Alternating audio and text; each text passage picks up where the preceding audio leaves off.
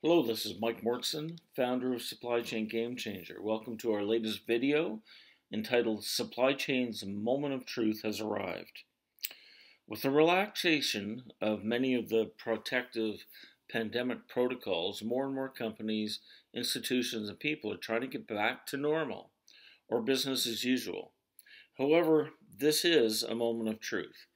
We can't go back to business as usual. There have been too many disruptions in every aspect of our lives. The old ways of doing things, particularly in the supply chain, have been exposed as contributing to these disruptions. Still, there are many who will conveniently forget the life changing experience we have all gone through with the pandemic, and this inertia will inhibit making the improvements necessary in the future. So, we will move forward and make changes and improvements, or some of us are going to stagnate and remain stuck in the old ways. This is the most important supply chain question of our time. Supply chain's moment of truth truly has arrived. If we look at the state of the supply chain, uh, the pandemic clearly exposed the fragility of supply chains everywhere. I remember in early 2020 going shopping and seeing people buying huge quantities of toilet paper and wondering what was going on. We were also searching for masks and hand sanitizer, which were in short supply. Store shelves were empty of numerous basic household goods. The news was talking about shortages of ventilators and PPE or personal protective equipment for our healthcare workers, um, the people on the very front line of the battle with the coronavirus. And then shortly thereafter, everything shut down. People were working from home, and normally traffic filled highways were empty. Manufacturing facilities and offices, stores and restaurants, logistics operations were operating at nominal capacity levels, if not closed outright. Just in time systems had faltered. Single points of failure in the supply chain were exposed. Think about the Suez Canal blockage as a case in point. The level of disruption continued on from toilet paper to PPE, household goods, to everything from lumber, fireworks, Christmas trees, semiconductor computer chips, automobiles, and on and on and on. Logistics delays were commonplace. Cargo, cargo ship loading and unloading of ports has been severely backlogged. Truck driver and truck infrastructure shortages compounded these delivery delays. Now, company war rooms, shortage expediting, tweaking parameters, safety stock, upgrading were some of the actions that supply chain leaders were were uh, undertaking to try and get a handle on the disruptions. They dusted off old disaster recovery plans, which proved to be insufficient and inadequate at dealing with this new reality. To make matters worse, the stress and turmoil on workers in coping with the pandemic fallout resulted in burnout, resignations, inefficiencies, and what I call post pandemic stress disorder. The pandemic clearly exposed the fragility of supply chains everywhere, in every industry and in every geography. Supply chain design had proven to be not nearly as robust and resilient as they needed to be, bringing us to this moment of truth. Now, the pandemic also brought supply chain into the zeitgeist. The term supply chain management was first coined by Keith Oliver in 1982. Never before in the last 40 years have you heard supply chain used by so many government leaders, corporate leaders, institutions, the media, schools, um, children, and anyone else, anyone else in society for that matter. Supply chain's profile has been raised by the pandemic, and it's now top of mind for everyone. People who have historically viewed supply chain as merely a back office function should now appreciate that supply chain is actually the very engine that makes most companies, most economies, and much of our personal and professional lives run. The question is will supply chain still be in the spotlight once we get past the pandemic?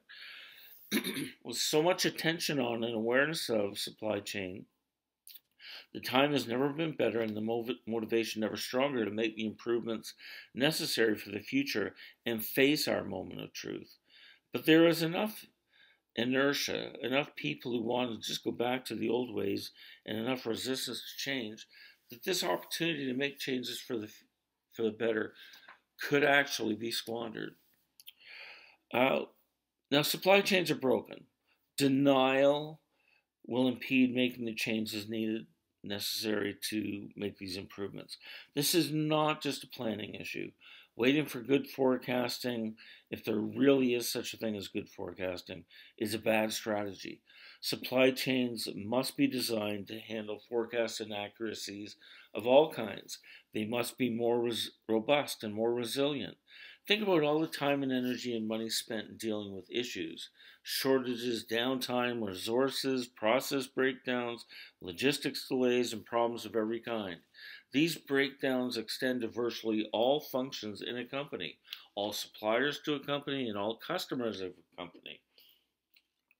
At its extreme, companies have gone out of business, never to return because of the failures of supply chain to adapt and to respond. Uh, the lack of end to end real time visibility has been chronic and is a fundamental contributor to the state of disruption and the delay in or lack of responsiveness. It's just like driving in a storm. If you can't see out of the windshield, you have no idea where you are, where you're going, and how you're going to get there dismissing the fact that supply chains have been broken and being in denial is the single greatest problem for the future. Some will choose inaction over taking the bold and courageous and difficult steps needed to make things better in this moment of truth. This recognition is important because there will always be another disaster, whether natural or man made. There will be some unpredictable, disruptive event on the horizon. And while these disasters may be localized and not as extensive as a global pandemic, they can and will bring your company to its knees just as easily. Now, there are many different uh, both enablers and disablers to the present and the future states. Uh, what we have experienced and what we will experience in the future. Um, what are the dynamics that contributed to the failures uh, in supply chain during the pandemic. It's it is not conceivable that any supply chain, no matter how well designed and executed, could withstand the devastation caused by a global pandemic. But there are dynamics and realities which weakened, if not crippled, the ability of supply chains to respond better, faster, and more nimbly. And the danger is that if unaddressed, these factors will cripple supply chains well into the future Interestingly, as I've said, these dynamics are both enablers and disablers. Their absence leads to failures in supply chain performance, whereas their presence maximizes the odds of survival, growth, and success. Let's start with visibility. Without real time electronic end to end visibility between a company's customers, uh, internal operations, suppliers at all tiers, and service providers, the impact of the pandemic is like trying to drive in whiteout conditions. It's not possible. An inability to see what's going on means that there's an inability to react and act and make the decisions necessary to mitigate, if not avert, any disastrous consequences. Electronic connectivity. It's no longer good enough to be dealing by phone or by emails. There are far too many parts and materials and suppliers and customers and operations and processes uh, for that to be conceivably managed manually. Electronic connectivity is the foundation of what I call the digital supply chain, uh, which can be built with real time information. Without it, we continue to live and operate in the Middle Ages. From skills and leadership, Far too many organizations have not recognized supply chain and its value, certainly prior to the pandemic. Supply chain is the engine that makes most companies run. It touches virtually every function and every stakeholder, unlike any other group. Too many CEOs do not understand this. Too many C level executives have no or limited supply chain experience. The earth shattering tremors of the pandemic required real leadership and overall business management skills, not just functional specific skills. But did companies really make the investments necessary to hone and develop these skills? The importance of supply chain management, development, and acquisition and retention has never been more important and apparent. This expertise is in high demand, and supply unfortunately, is constrained here too. Further, the skills required to run a functional back office supply chain are much different than the skills and leadership abilities that we'll need in the future to run a front office supply chain. The ability to lead, envision, strategize, and implement the capabilities needed going forward rests on the shoulders of supply chain professionals, and the skills that are necessary to make this happen in the future are much different than the tactical and technical skills of the past. We need people who know how to do strategic planning and big thinking, uh, uh people that have applied real time end to end supply chain expertise, technological knowledge and expertise, change leadership skills, control tower leadership skills, a data analytics mindset and mentality, risk management expertise, holistic global leadership skills, business process transformation capabilities, and best practices knowledge. The next enabler or disabler is resilience and robustness. How many how many companies even had disaster recovery plans before the pandemic, let alone active plans that were gathering dust in the deep recesses of drawers and cabinets? The pandemic and any other disruptive event exposed too many single points of failure single sor- sourcing, low cost geography only sourcing, fragile processes and systems, lack of skills in management and leadership, lack of visibility to second, third, and fourth tier suppliers, congested shipping ports, total cost of ownership models focused largely on price, uh, a lack of strategic inventories. All of these things make our supply chains vulnerable. You cannot rely on good or accurate forecasts.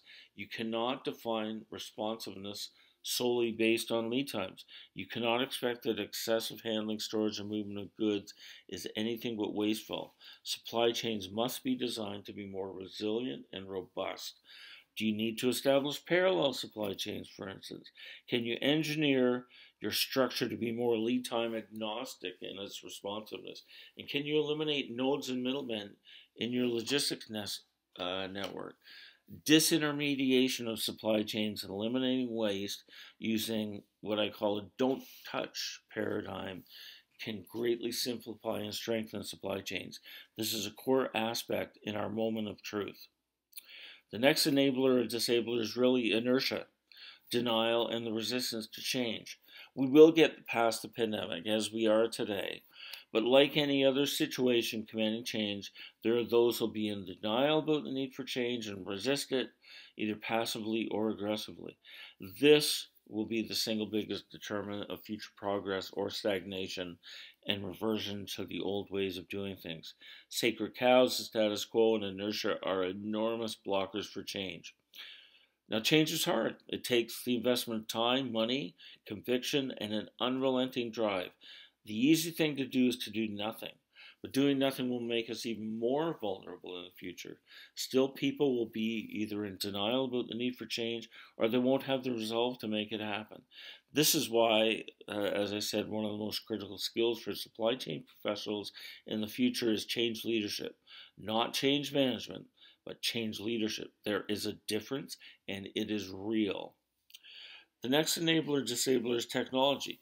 We have at this point in time an unprecedented set of technologies available blockchain, artificial intelligence, augmented reality, virtual reality, the Internet of Things, big data, predictive analytics, machine learning, cloud computing, control towers, 3D printing, uh, robotics, automatic, uh, autonomous vehicles, drones, cybersecurity, and more. There will always be opportunities for further technological improvements and further technologies. Uh, we will have still surely have a need for standards and standardization to reduce costs. Um, but this technological suite constitutes the core capabilities required to create the uh, electronically connected digital supply chain of the future. This will enable visibility, um, uh, which will further enable intellectual automation and better and more responsive uh, real time decision making. Um, the inevitable barriers and hurdles still need to be overcome. The inclusion of these technologies and visions, and strategies, and the acceptance of and willingness to invest in this direction will be met with the usual suspects uh, in resisting and denying the need to change. And finally, uh, the last enabler, disabler I want to touch on again is change leadership. Nothing will happen without change leadership as we face our moment of truth. Doesn't matter what the technologies are or what the will is, you need change leadership. Far too many people are just going to go back to the old ways of doing things. No matter how seriously their organization was impacted, denial will be rampant. It takes special skills to be a change leader. At its core, you must be able to will, uh, be willing to change the very culture of an organization to embrace the changes needed. Some people will resist because of the fear of the unknown. Some will resist because they just don't want to change. Everyone, however, must be brought along to make these changes not only work, but to become sustainable. Failure is not an option. A lot of companies failed or will, will only go on to be a shadow of what they used to be because they refuse to make the changes needed to survive and progress. Now, what direction do we take? Um, I believe supply chain is at a crossroads. History will show that this is true. Um, what direction do we take? Um, across a spectrum, we be, believe there's two fundamental choices. Uh, on one end is the status quo. People keep doing things the way they've always done them. Uh, they don't really make much uh, progress at all. Um, and they just kind of plug along. When the next catastrophe or disaster happens, uh, they will just uh, deal with it uh, in a firefighting fighting mode on the other, uh, as they have in the past. On the other hand, is what I call the supply chain renaissance, similar to what happened in the Middle Ages. There's a confluence of many different dynamics that laid the groundwork um, for phenomenal for for centuries of change, um, and that's what I think we have in front of us uh, in terms of redefining supply chain for decades and decades to come. Um, all the enablers and disablers that we've discussed can be employed uh, in either direction. Um, uh, but there are broken links in the supply chain. Uh, they've been pervasive during the pandemic, uh, and this uh, these broken links provide the opportunity to improve and strengthen supply chains and should not be ignored or whisked away. The reality is that once we get past the pandemic, far too many people will have short memories and will revert to their old ways. Progressive, competitive, and serious companies will make the improvements necessary to advance and strengthen their supply chains to create a digital supply chain of the future and to create and embrace a new normal. This is our moment of truth. Now, let me define a little more of what I mean about the supply chain renaissance. Um, I think you're all familiar with uh, the Renaissance period uh, in the fourth, between the 14th and 17th centuries in Europe, uh, a period when uh, dramatic changes, improvements in uh, so many different aspects of our lives were made. Um, you know, one of the definitions of Renaissance is a situation or period in time when there's a new interest or something that's not been popular in a long time, uh, or a new a period of new growth of activity or rebirth. Um, the pandemic has created the conditions for, and is it is the catalyst for, the supply chain renaissance. The conditions that have to be coincident to launch a renaissance um, include the unrelenting, pervasive, unforgiving disruption of supply chains in every company, every industry, and in every country around the world. Um, all of that disruption is the motivation, the inspiration, and catalyst for change. The dynamics uh, to ignite a renaissance are massive failures in the current environment, making the status quo untenable the creation and awareness of a level of advanced intellectual expertise, reduced resistance to change, and a desire to get back to a more stable condition. the availability of new technologies or tools, extensive communication, infor- information sharing, and cross fertilization of ideas, resource availability uh, to fuel innovation and creativity, um, and awareness and recognition by governments, industries, individuals, and society uh, for the need to change.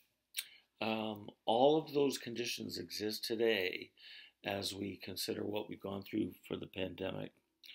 Um, on top of that, there's what I call um, the art of supply chain management. Uh, running supply chain, supply chain leadership is so much more than just knowing the mechanics of doing the job. You need to have great visioning capability and creativity. You have to be able to think outside the box, be innovative. You have to be brave, uh, and you have to have courage. Uh, all of these are traits of the great Renaissance leaders and change makers throughout history. So, in short, all of these conditions exist today, unlike ever before, and they're enabling uh, the supply chain renaissance. Um, now, what con- what do I consider to be a part of the supply chain renaissance? The first would be the digital supply chain, um, which, uh, as I outlined a lot of the technologies earlier, at its core involves the electronic end-to-end connectivity enabling real-time visibility and decision making, along with the capabilities uh, enabled by all the other technologies. The second aspect of a supply chain renaissance is creating more robust and resilient supply chains. Um, we have to be able to withstand disruptions. Even just in time systems, uh, which were uh, the, uh, envy of many, uh, they all failed um, uh, in their current form. And in the, in the spirit of continuous improvement, uh, we don't have to abandon just in time systems, but there are ways to improve them moving forward. The third uh, aspect of the supply chain renaissance is the circular supply chain. We must have we must have sustainability and more environmentally friendly and appropriate um, supply chains. Supply chain as, as a service or SCAAS is also a core uh, capability. Every company is not going to have the resources to hire all the expertise that they need to be able to uh, advance and make the improvements needed in the future. But they can hire this capability. There's so many companies who are experts in their fields um, that they can bring that expertise and severe, uh, severely leapfrog and advance in a much shorter time uh, the implementation of these improvements in any company. Global holistic leadership. Leaders must be able to see across their entire end to end supply chain network. They must have the tools like control towers so they can make real time, end to end informed decisions and take the appropriate risks. Supply chain, unlike ever before, belongs at the head of the table when we talk about the boardroom or leadership of any company, um, if you don't understand supply chain, you don't really understand how your company runs. And the final uh, element of a supply chain renaissance is technology everywhere. We see it in our lives these days, and it's only going to become more uh, prevalent and pervasive. Um, the, the technological capabilities, uh, that are involved in the digital supply chain uh, are the core of a supply chain renaissance. Uh, now, in conclusion, uh, it has never been a more exciting time to be in supply chain now and for literally decades to come. The global need for uh, and the appetite for improvement and innovation, the universe of opportunity, the wealth of technological advancements, and the promise of a better future all make supply chain the place to be. Who knows what great and amazing things our supply chain professionals or you will accomplish? Our future unequivocally will be shaped by the leaders of supply chain. Those who step up will be the stars of tomorrow. Those who revert back to the old ways will be fall by the wayside and be forgotten by history. The eyes of the world are upon us, and history and time will judge whether supply chains stepped up to the challenge and began a new age, a supply chain renaissance. The time is now. supply chain's moment of truth has arrived. Thank you so much for your time. Uh, please be sure to follow us and check out our library of over a thousand articles on supplychaingamechanger.com and uh, have a great day. Thank you.